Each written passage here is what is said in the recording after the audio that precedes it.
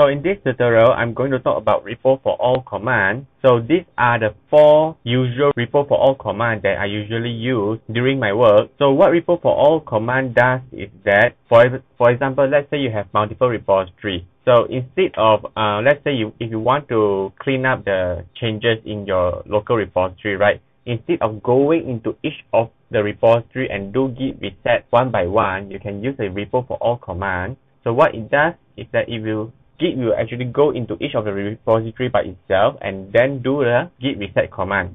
Okay, so right now, let's proceed with the example. So in my tutorial directory right now, I have driver repository and app repository.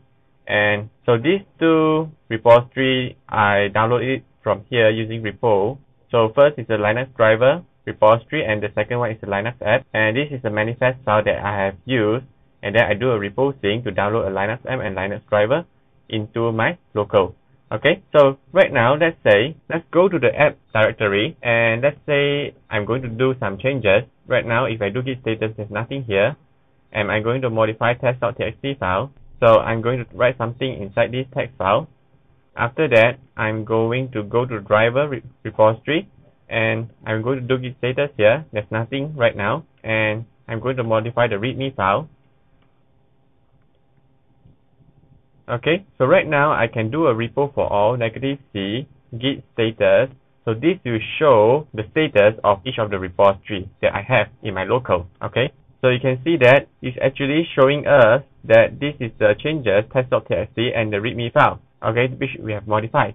So right now, let's say I want to discard these two changes in both of the repository. What I can do is I can do a repo forall negative C git reset negative part. So this will discard the changes in our local. Okay, so if you right now do a repo forall git status, it's actually saying that your working tree is clean for the both of your repository.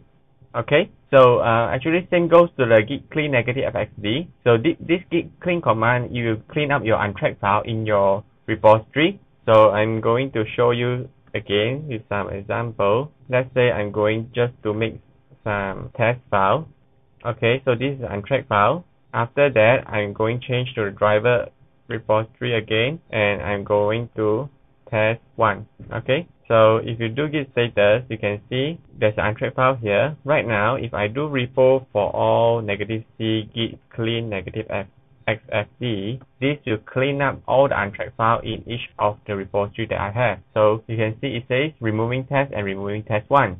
Okay, so this is how you use the repo forall command with a negative C option to clean up your repository. Okay. The next one that I want to show you is the repo forall negative C git tag. Okay. So this will tag each of your repository by giving this command. So let us do a repo forall git tag. So you can see that if I change to app directory, you will see this Linux version 1.0 is being tagged at this particular commit. Okay. So whatever latest commit that you have in your repository, you're being tagged by doing a git tag command.